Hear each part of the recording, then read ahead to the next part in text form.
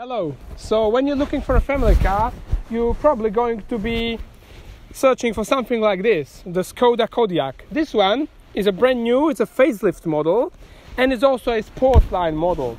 So what is facelift, facelift has brought are these new front headlights with slightly different uh, shape. Also, the shape is different at the back. We'll get to that later. And of course, this being a Sportline model, it means it has these black accents. So you have a black mask on the front, black mirrors, black uh, stripes on the windows, also the black badges in the back, black uh, saying of Skoda. You also have specific 19 inch wheels with a tire size of 235 50 R19. These are Pirelli Scorpion Verde tires on it. So yeah, these are also specific. And then of course you have Sportline badges on most places so that you know you have a Sportline version of the car which looks more sporty. Yeah. Uh, so in the in the interior, the Sportline is also different because you have this suede on the doors, and uh, well, I thought it's going to be on the roof lining as well because on the in the Skoda Superb of Sportline, it, it was there also, but it's not it's not here. The other things you have here is the carbon looking plastic on the inside and some other Sportline badges and also these sporty seats which actually they are pretty good. They also have the memory function they are electrically adjustable but the shape of them is is pretty good pretty sporty. Then of course in the back you have loads of space for sitting. Just come and look. I'm 1 meter 90 sitting behind myself and i'm here like in a bloody limousine. Look at how many space i've got here even for the head so it's really practical in here. The other very good thing in this particular model is that i have a domestic socket in here of 230 volt. Uh, next to it is a classical 12 volt socket and next to that is one usb-c connector.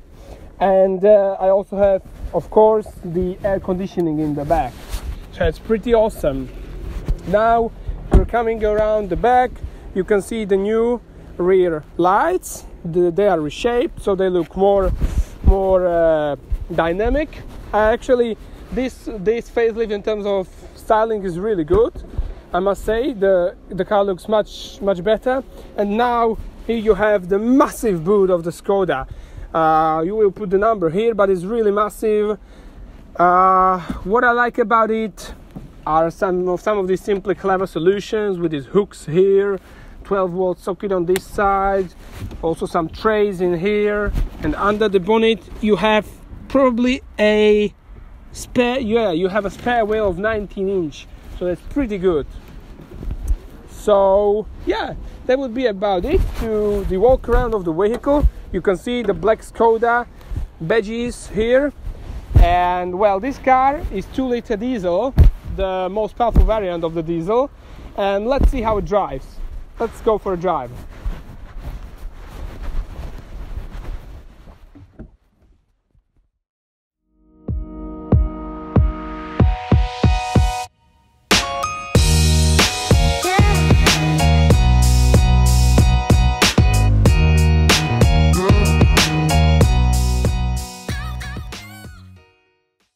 Okay guys, so we wanted to make some footages of the car here but uh, the storm is coming so let's just go straight to driving. Let's go inside and let's drive. Look at that.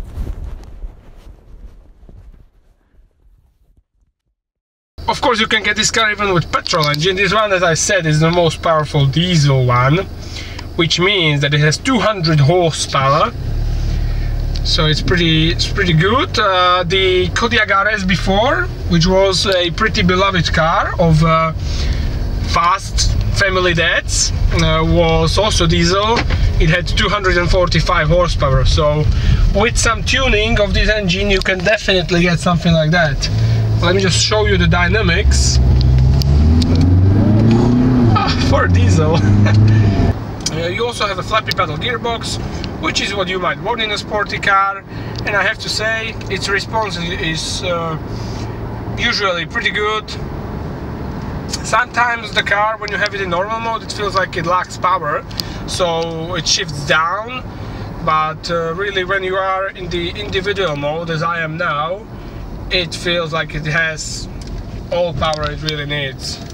So, Skoda Superb on the motorway, I had 5.7 at at the more than uh, more than uh, it should be motorway speed around 140 150 with this 7.7 so it's quite a big difference quite a big jump i would say. Also the car weighs 1830 something kilos which is also quite heavy. So there are these disadvantages of an suv of course but people nowadays they love SUVs because I don't know I'm not really a fan of SUV because they're practical you're sitting high. So I have maybe a good visibility out of the car. Uh, yeah otherwise the car is pretty pretty quiet when you're driving normally. From the tires it's very quiet. From the bumps and when you're going around the bed road it's also quite quiet. It's a really nice ride you know. Uh, you can talk very quietly to each other in the car. So yeah it's nice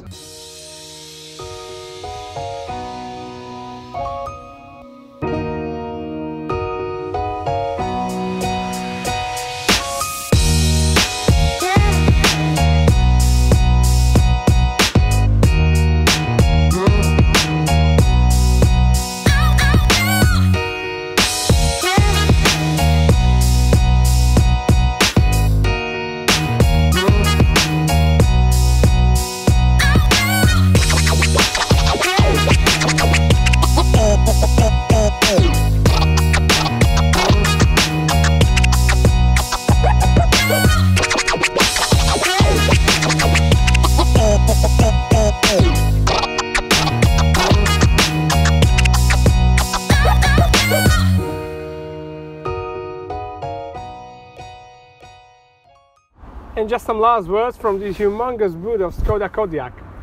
Well, it's still a probably the best family SUV you can get for this price. In this Sportline model, it's aimed for the customers who want some sporty look, which is definitely not me because I want sporty handling also, not only look. But you have some good seats, you have some good looks, and uh, well, even though this car is not going to be as as better in the corners or as good as in the corners as the Skoda Superb, uh, which I would take.